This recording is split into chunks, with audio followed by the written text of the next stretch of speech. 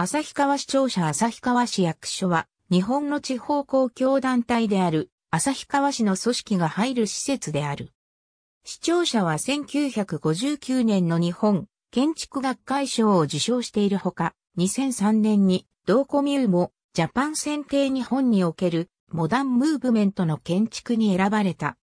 地方自治法第4条の規定により、市庁舎の位置を条例で定める必要がある。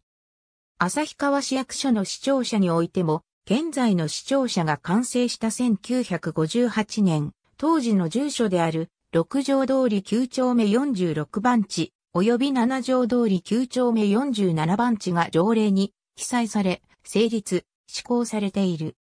その後1966年に市役所の土地が一体化され、登記簿上では七条通り9丁目47番地が消滅、現在の六条通り9丁目46番地の地番のみとなり、各種表記上の住所もこれを用いている。ところが、この土地の合体処理があったのにもかかわらず条例が改正されないままで、2017年になって、後日の視聴者建て替えに監視基本計画をまとめる作業を行っていた際に、この土地の合体と条例未改正が判明した。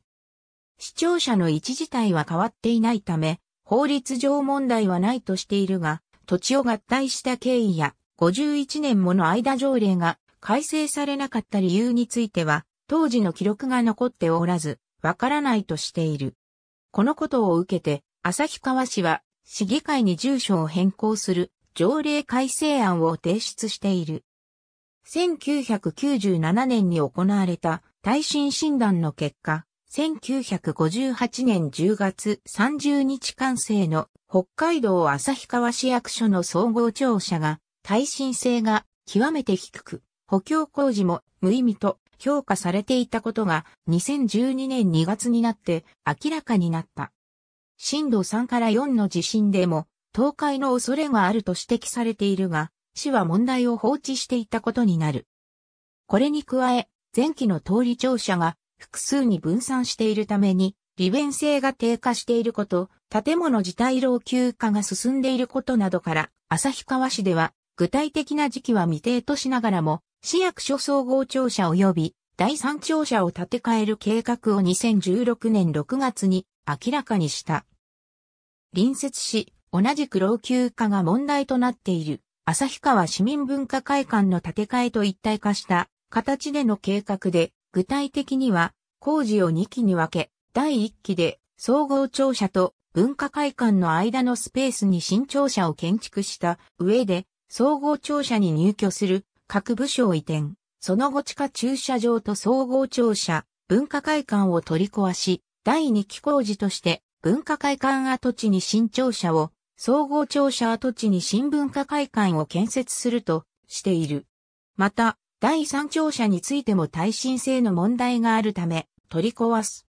ただ、文化会館の建て替え等について、市議会の反発を受けたため、同年11月に発表された計画案では、第1期のみの内容が盛り込まれ、第2期については事実上撤回された。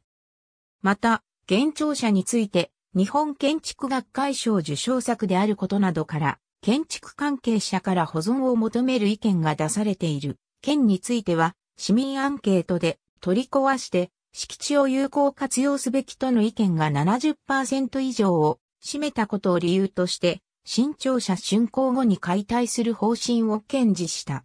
2018年3月に新市庁舎の基本設計案が提示。西川正人市長が構想する市民活動スペースとなるシビックセンターを設けるものであったが、翌2019年3月には実現が難しかったとして市民活動スペースを縮小する方向性を示した。私は知りたい。北海道新聞。地方自治法大市場。E ガブ法令検索。総務省行政管理局。2020年1月22日閲覧。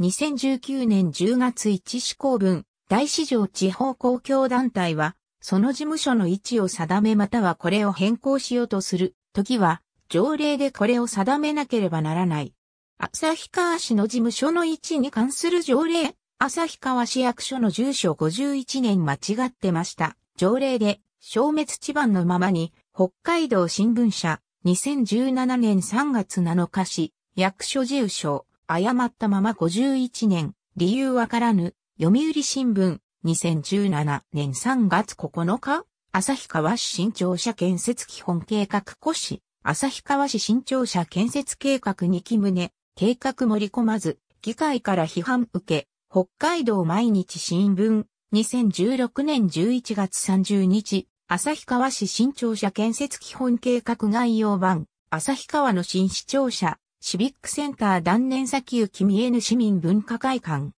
北海道新聞。2019年3月15日閲覧。ありがとうございます。